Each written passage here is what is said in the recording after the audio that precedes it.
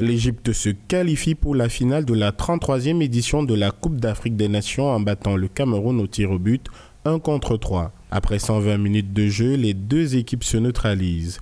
Pourtant, les poulains de Tony Sao ont largement dominé la première période. L'ultime chance pour faire la différence dans la tanière des Lions indomptables. Mais en face, les Pharaons qui enchaînent un troisième match avec des prolongations ont pris l'avantage de leur expérience. Pourtant, Samuel Umgwet avait trouvé le poteau de Gabaski sur une frappe lointaine à la première période. Déception pour les Lions indomptables du Cameroun qui tombent pour une seconde fois à une demi-finale de la Cannes à domicile 50 ans après. Mais la compétition n'est pas pour autant terminée pour les Lions indomptables qui vont affronter le Burkina samedi 5 février 2022 lors du match de classement.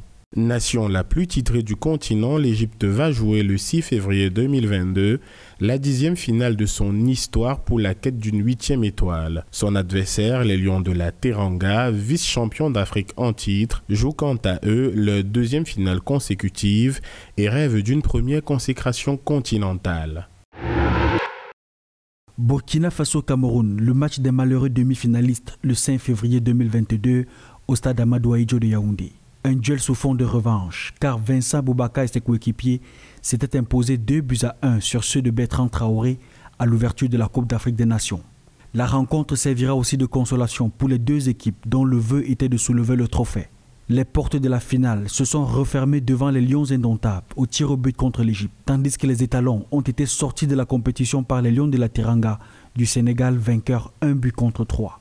Dans la sélection camerounaise, on reverra des joueurs tels que Nountolo, Fay Collins, Muminga Malu, Karl Toko et Kambi, Martin Onla et Vincent Boubaka, dont le jeu s'est distingué dans le 11 des Lions indomptables. Autant que Cyril Bayala, Abdul Takpsoba, Adama Gira et Gustavo Sangaré dans l'équipe des étalons.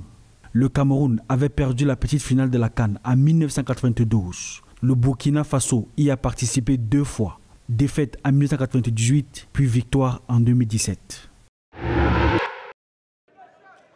Jouer pour la sélection nationale de football du Cameroun, une affaire de cœur pour l'ancien long indomptable Philippe Duro. Il est appelé pour la première fois en équipe du Cameroun par Claude Leroy en 1985 pour la Coupe de l'Union douanière et économique de l'Afrique centrale au Gabon, tournoi pendant lequel le Cameroun s'est classé à la troisième place face au Tchad.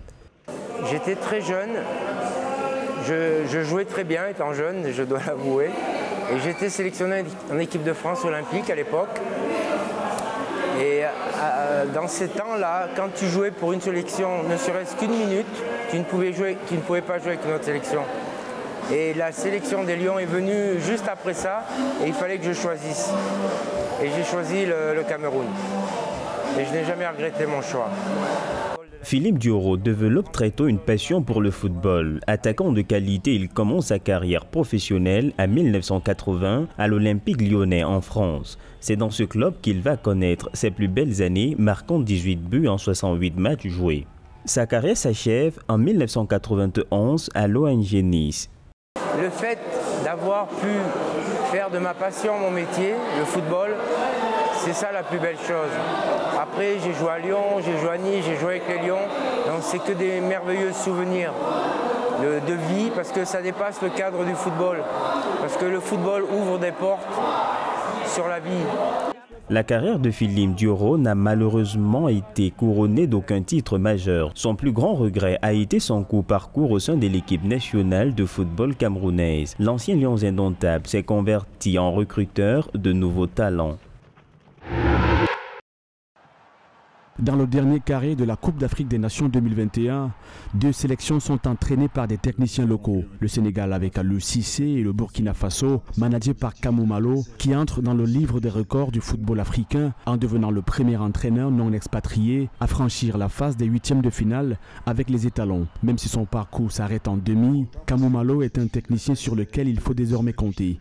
Oui, c'est un entraîneur euh, qui a le mérite d'être là. Il a fait jouer euh, l'équipe du Burkina avec un système adapté à chaque équipe. Il a fait progresser pas mal de jeunes. Euh, je pense que c'est un entraîneur avec beaucoup de qualité. On n'a plus grand-chose à envier aux sorciers blancs, même si on a le mérite d'en avoir certain. Sa principale qualité au vu de ce que ces joueurs demandent sur le terrain, je pense que c'est l'humain. Il prend euh, les joueurs avec euh, beaucoup d'attention et d'affection. Déjà 7 ans qu'il est à la tête des Lions de la Tiranga, Aliou Cissé, ex-capitaine de cette équipe, est déjà entré dans le cercle des entraîneurs les plus influents du continent, en se qualifiant pour la finale pour la deuxième fois consécutive. Après avoir battu le Burkina Faso de Malo 3 buts à 1, il se rapproche une fois de plus du sacre qu'il n'a jamais pu avoir. Déjà en 2002, il participe à sa toute première finale en tant que joueur cette année-là. Déjà, j'ai un grand respect pour Cissé, je trouve que c'est un super coach. Il a fait un travail fantastique avec les Lions de la Teranga. Deuxième finale. Un meneur d'homme, c'était un, super joueur de football, c'était un capitaine, c'était un meneur d'homme. Donc c'est une personne qui a toujours su mener les hommes avec qui, avec qui il jouait. Je pense que depuis tout petit, ce gars, c'est un meneur d'hommes et qui, sait euh, réunir et fédérer les hommes. Rodolfo Bodipo en Guinée équatoriale, Pedro Letao au Cap Vert, Amir Abdou aux Comores, Wibetou Abate en Éthiopie ou encore Kaba en Guinée, 16 entraîneurs sur les 24 sur le banc de touche de cette Coupe d'Afrique des Nations 2021 sont originaires de leur pays. Un inédit qui, selon les experts, marque un tournant décisif dans la considération portée aux techniciens africains.